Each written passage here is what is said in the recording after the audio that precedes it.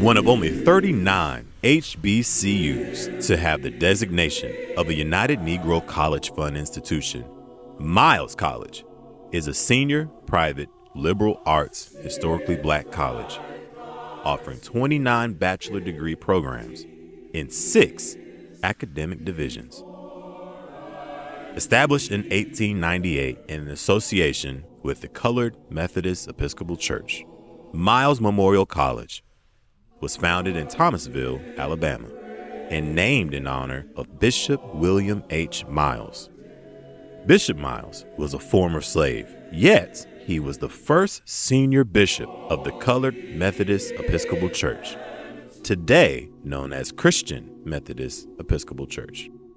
In 1941, the school's name was changed to Miles College, and today the institution of higher learning is located in Fairfield, Alabama, and is ranked as the fastest growing UNCF member in the nation.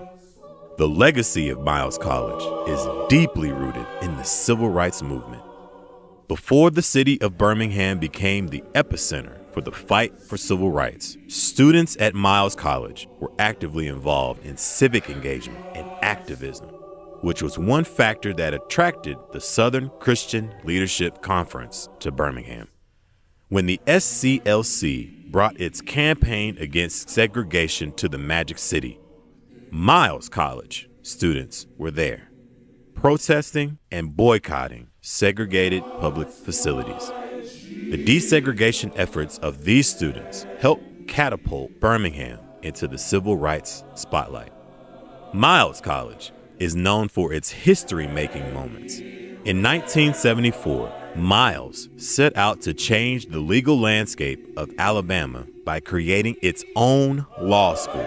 Miles Law School was established to rectify the fact that there were only 40 black attorneys in the state at the time. Since that time, Miles Law School has graduated numerous leaders in law and politics, including, but not limited to, Alabama's first black federal judge, U.W. Clemon, former mayor of Birmingham, William A. Bell Sr., and District Attorney of Jefferson County, Danny Carr. In August 2019, Miles College again made history as Dr. Bobbie Knight was elected as the institution's 15th president and first female to serve at its helm.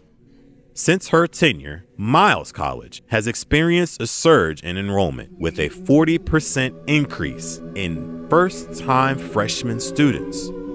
Also, under Knight's leadership, in 2020, the single largest donation of $1 million was gifted to the college by NBA Hall of Famer Charles Barkley. Miles College is Birmingham's incubator of economic and social change.